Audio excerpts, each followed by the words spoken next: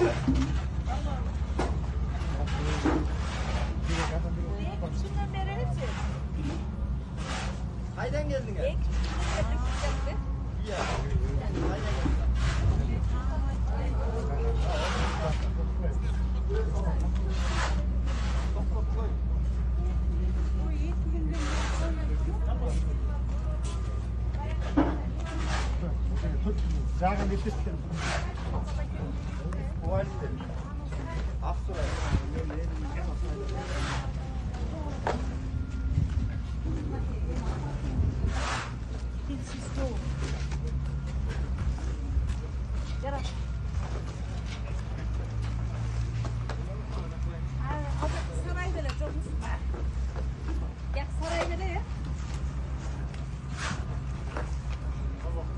ya mınday kuru karayla olmuyor.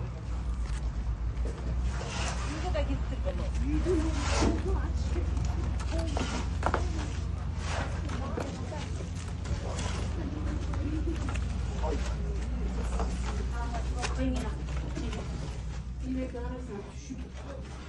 Bana kızmıyor, bunu astayım, bunu et teptiğim, ette gidin diye saçtırtıp bu carayı bıcak. Arkasını dele görmüş çocuğum. Астын астын баары толду да. Толду эже бул жарабай деле аркасын да көрбөйсүз бир эки жагынан каптады да бул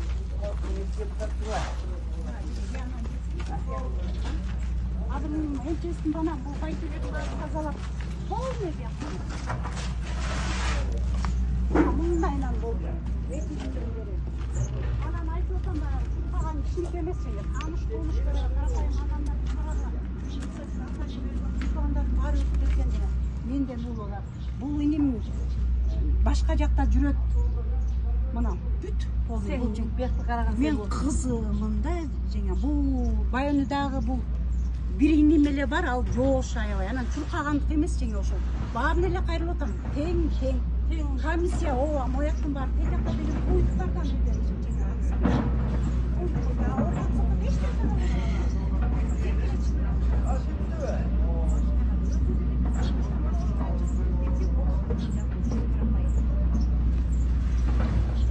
анан ушуларды дагы аябай боо биз боо жыргалдыкты кетиптир бияк тараптан жеңе анан биздики аябай болуп атат да. Ошо мен өскөндө бияққа келип ошол жерде жактан келип бияққа өтө албай койдук батып өтө албай койдук мына могулар дагы жаңы чыгарып аткан окшойт э агып ооба байыңтан бери группадан жазып атам чыгарып атам айыл өкмөт же келбейт бүгүн таң атпай айыл өкмөткө барсам жок келе калып анан айыл өкмөттөгү эки аял келди каттап кетти андан кийин азыр нурдин келди бир тийгидим тиесиң да моундай болуп атсачы адамдын бир тобу Ошто алаңдашып деп ар кайсы айылдан келгендерге тамагын тарап чайын тарап турушат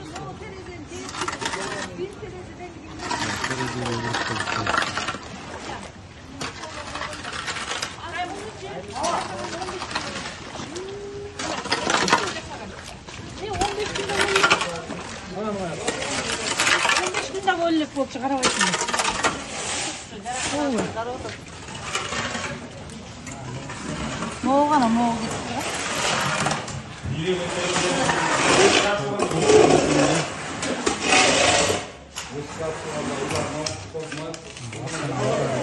гана могу мунун баары бутаман болсо сизи бай үйбү бул Жаңа өткөндүр 20 күн жүрөт. анан гүлка буларчы булар деген туугандарынын боржун алып кетти колго деп анан беришет тиги караңгыга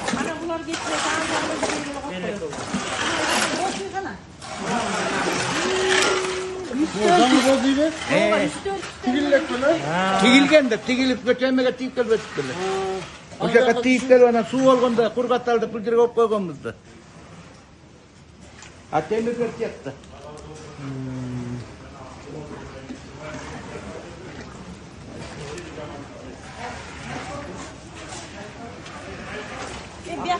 коюп койгонбуз да. А темирдер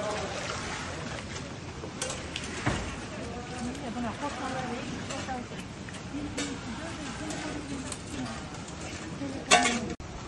жаштардын алла разы болсун айылдын жаштарына алла разы болсун бүт алып келип темир агай үй айтып киши бар эле үйдө үйүн бүт алып кетип поштасы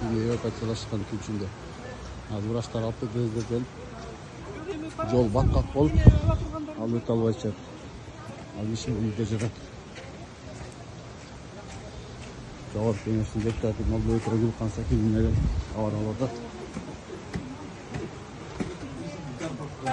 байкем байычеси сактаган турбай мен жата берейин сен сактан ооба дейм ушундай күн болду салам алейкум кандайсыз агай жакшысызбы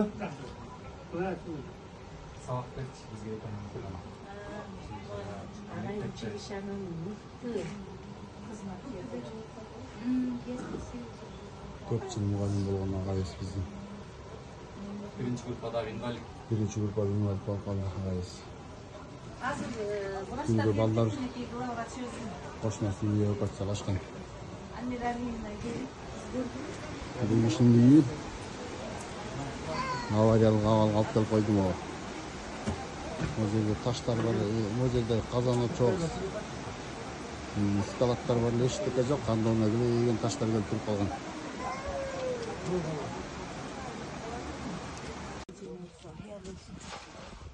Элдерди эвакуациялап атышат.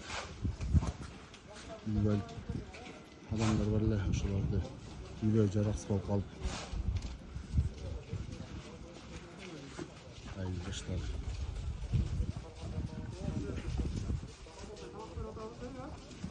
жогорку кеңештин депутаты илкан жеңебиз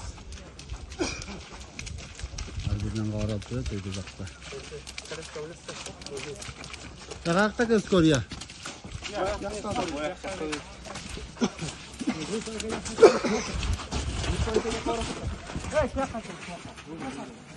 ылдый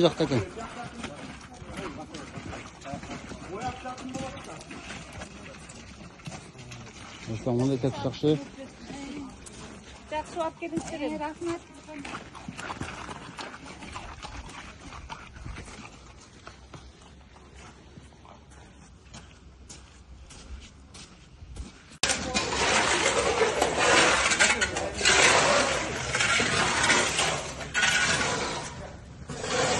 Ну, а тут ой, где ты там забегай? селдин кесепетинен Таштарды тартсın.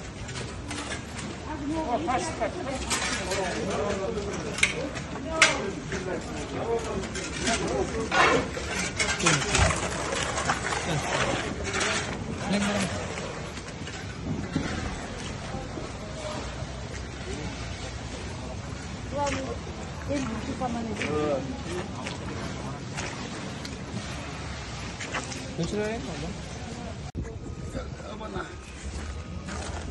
아, 그만 갈게.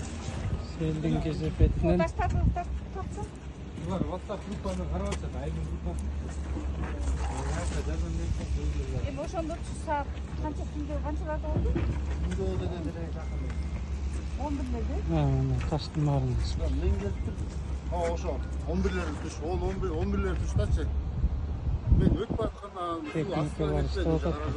токтоп тиги аркада астражалда ошол жакта машинам албады Азыр могу таштын баардыгын кара жолго чейин алып калыптыр Мен дедим огородчу.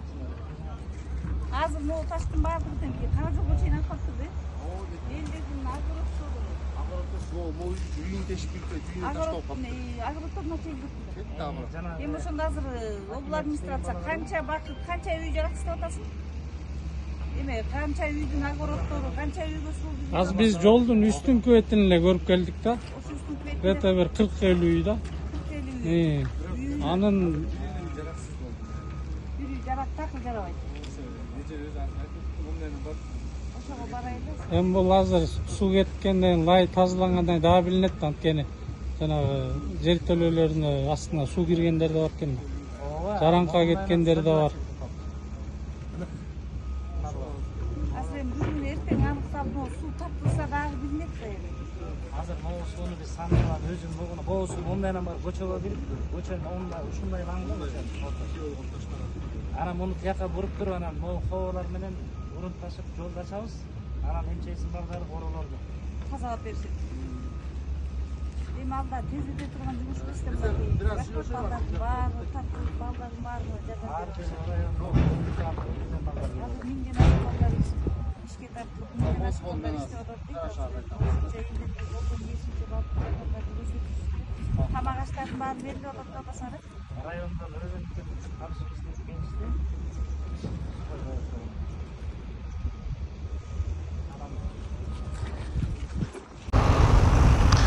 бүгін мына 22 август 18 августта болған қиянның кесепеттерін жою іштері бүгін де улантылууда үскөл районындағы темировка айылында мына бүгін 600-ден ашық қол күші адамдар келіп жардамдашқанға пландап атабыз мына бүгінгі күнде 50-ге жақын инженерлік техника іштеп атат анын ичине мына жол салып аткан биздин кытайдын чайнарод компаниясы дагы өзүнүн жардам берип келип атат ушул сел башталгандан баштап алар жыйырма беш машинасын он погрузчик экскаваторун берди андан сырткары ушул айылдардагы дагы айылдын ичиндеги техникалардын баарын көтөрүп атабыз жарандык короо кызматтарынын баары азыр э, стройдо туруп иштеп атышат мчстин техникалары мчстен дагы ондон ашык мына инженерлик техникалар келди экскаваторлору погрузчиктери тралдар менен суу сордуруучу техникалар мотопомпалар иштеп жатат мына бүгүн темировка айылындагы негизги көчөлөрүн ачуу иштери жүрүүдө андан сырткары короо жайлар ушу селдин кесепетинен үйлөргө кирип кеткен мына ошолорду дагы бүгүнкү күндө ачуу иштер уланууда баягы кол күчүнүн көп алы келбегендиктен селдин баягы көлөмү чоң болгондуктан биз жеке ишкерлерден дагы майда э, экскаваторлар тартып атабыз келишим негизинде андан сырткары бизде чоң милдетибиз бар бүгүн бул ушул темировка айылындагы мурунку сел өтө турган нук болгон ошол нук жабылып калган мына бүгүн ошол нукту ачып эл менен сүйлөшүлдү кечээ кечинде Берди. Себеби сел өтө турган бул нукту ачпасак эч ким кепилдик бере албайт. Мындан кийин дагы эгер сел боло турган болсо дагы каптайт. Ошондуктан биздин өзгөчө кырдаалдар министрлиги дагы жергиликтүү бийлик менен биргеликте ушул кайра кандай алдын алуу иштерди да пландап атат. Э, мониторинг анализ группасы келип бир сыйра анализдеп кетишти. Э, бүгүн жыйынтыгын аягына чейин берет. Ошонун негизинде биз дагы э, ушул корумду дагы темировка айылындагы э, алдын ала боюнча иштерди кылабыз. Андан сырткары ушул айылдарда көбүрөөк жапа чеккен үйлөр бар. Буларга дагы биз м, калыбына келишинче жардам беребиз. Андан сырткары ушул айыл чарба жерлери огороддордагы кум шагыл таш каптап калган. Эң негизги биздин чоңураак милдетибиз ушуларды ачып жерлерди калыбына келтирип кайра ушул жарандарыбыз м, толук кандуу жерин кайра иштеткенге мүмкүнчүлүк түзүш керек. Мына бүгүнкү күндө азыр дагы техникалар келип жатат ушул өзгөчө кылдарда- кырдаалдарды жоюу боюнча аягына чыкмайынча биз иш алып бара беребиз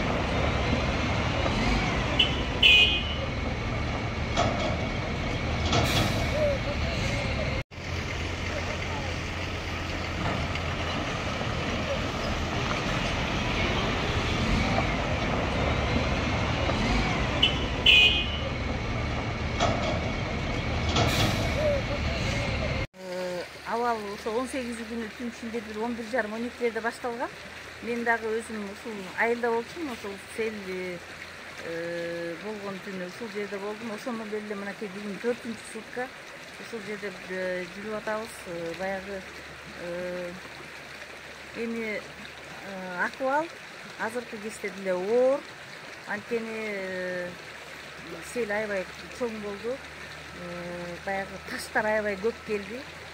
Ошо менен баягы тазалоо иштери бирок күнү түнү жүрүп атат техникалар болушунча техникалар тартылып атат жана жолду жасап аткан кытайдын фирмасы дагы баары тартылып алар жыйырма жыйырма беш отуз отуз бештен ашык машинелерин сагып азыркы деле бүгүн да иштешти мынакей ошондон бери түнкү саат бир тогуз он он бирге чейин минимге чейин жүрүп атат эми бүгүнкү акыбалы эки күнгө салыштырмалуу баягы ички жолдор ачылып калды бирок дагы деле жумуш көп бүгүн ошолорго жетиштик өйдө жагы мынакей азыр эми өзүңүз көрүп атасыз бул жер дагы бүгүн төртүнчү күн бирок бул дагы бир кичинекей иш эмес дагы деле көп иштер бар биякты көрүп атасыздар ошон үчүн баягы эми мамлекет тарабынан болгон техникалардын баары келип атат эл журтка рахмат. Эл өзү дагы колдорунан келишинче жардамдарын кылып техника болсо соляркаларын өздөрү берип атат мамлекет жардам берип куюп атат иши кылса буюрса уламадан эми убакыт талап кылат экен убакыт талап кылат баягы тазалоо иштери азыр кызуу дагы деле жүрүп атат мен ойлойм азыр дагы мынакей штаб болот дагы эртеңки пландарды сүйлөшөбүз эртең деле кызуу жүрөт анткени бул ысык көлдө ар бир үйдө подвал бар экен алмалар көп дайыма алмаларды үсүп сактап ошолордун тышында булар сатып эме кылышчу тиричилик кылышчу малиналарды менен баягы иштетип малина сатып тиричилик кылчубуз азыр өйдө жакта мына ушинтип кээсир эле огороддордо эч бир малиналар калган жок алмалар ар бир үйдө подвал бар экен а подвалдын баардык жеринде азыр ушул суу сел каптаган үйлөрдө бүттүгүнүн астында подвал үстү үй болуп туруп атат үйлөрдүн акыбалы сырыс болуп аябай бир коркунучта туруп атат эми мен ойлойм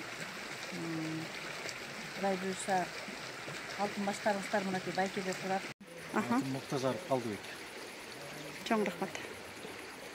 Эми ал чындыгында мен биринчи мындай дедимет менен бул эмне болуп атат деп биринчи түшүнгөн жокпуз анан кийин сел келгенден кийин ошондо билдик жанагы гуугулдап бир кызыктай үн келет экен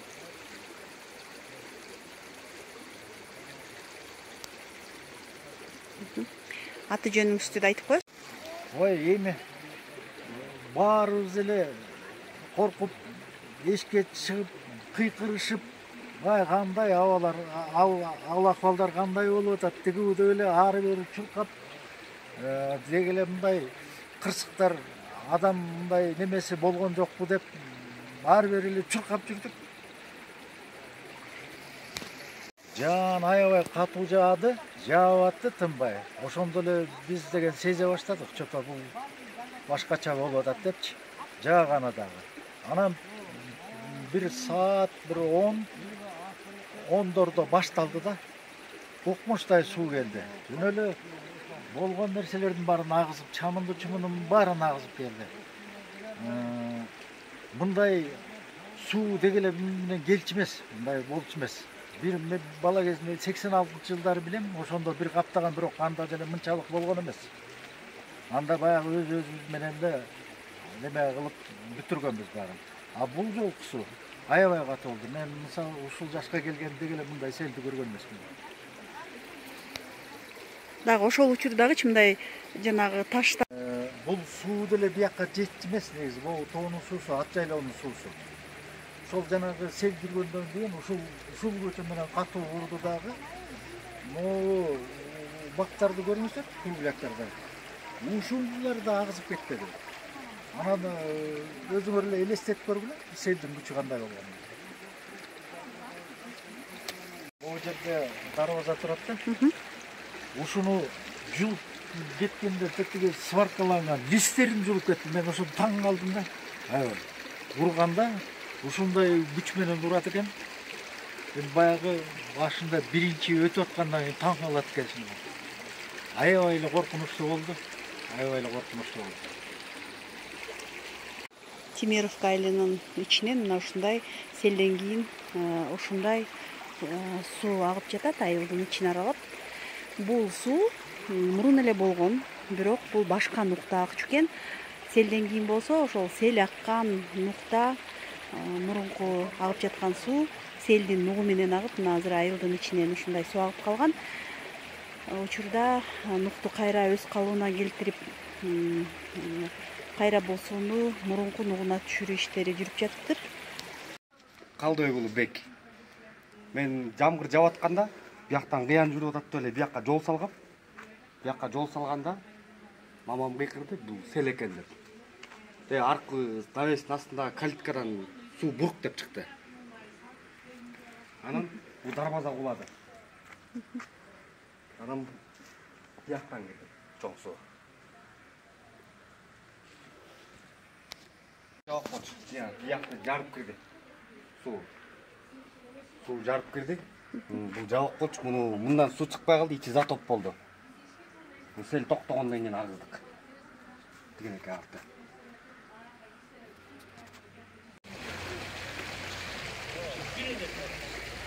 могу жерден өтө алсаңар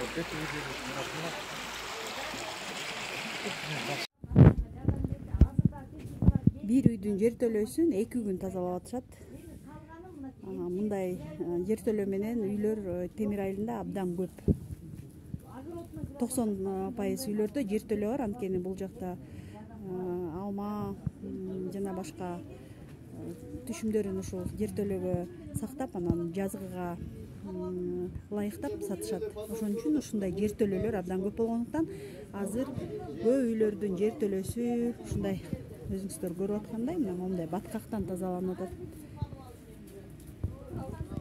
байылгачы бул башкалар ойлоп атышат да булар курорт.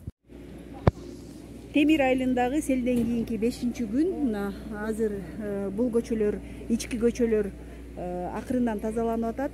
Бирок жогорку кеңештин депутаты гүлкан молдобекова мына беш күн бою ушул жерде жүргөн депутат катары